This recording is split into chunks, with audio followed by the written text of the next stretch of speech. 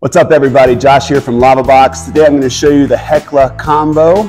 First we're going to start with the bag. This is your carrying bag you're going to get with your combo.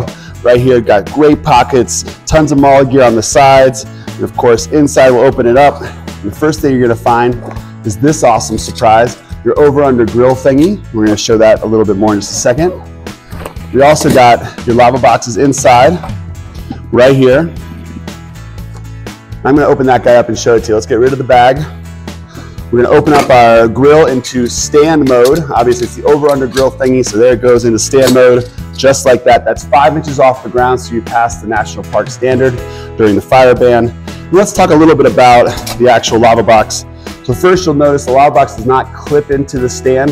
We want it to be able to move a little bit in case somebody trips over it and doesn't pull the whole thing down. That is by design. On the outside, you're gonna find our logo here, nice leather handle, big and thick on this side. You're gonna find your dual burner system on the left side. For my left, you're gonna find the campfire side, which is gonna be the shorter burner.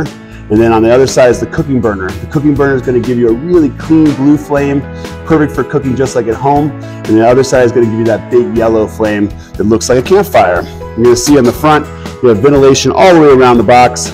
We also have a really sweet badge here. And on this side, you're gonna see it's an easy open. So it's one-handed operation spring loaded, so you just pop that guy up and off, and then the box just slides open just like that. The lid slides right off the box. Inside, you're gonna find our Hades stones. That's our thermal mass. It's gonna radiate heat out. This weighs almost nothing and it's extruded ceramic. And then you're also gonna find your regulator. So here's your regulator, 20 PSI. This regulator requires no wrench. Uh, has a flared fitting, so that compression fitting has, doesn't require a wrench at all, just finger tight. You're also gonna find your screen. The screen is gonna sit directly on top of the actual burner. And I'm gonna put it in position there and you can see, we'll take the plastic off of course. That's gonna sit right on top and then your rocks will go right on top of there. Your regulator is just gonna screw directly into whatever burner side you like. And I'm gonna show that in our next video. Before I go though, I wanna show you one more thing. I'm gonna show you the over under grill thing in grill mode.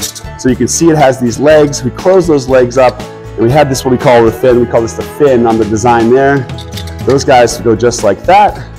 And now if you have an existing fire pit, let's say you have a, a grill in your campground or you have one of those big rings that's got a grill inside, all that does is sit on top and now you're ready to grill or that's for any kind of flat bottom like a big pot or saute pan or if you have something that's curved like a wok, flip it over and use the legs for the wok.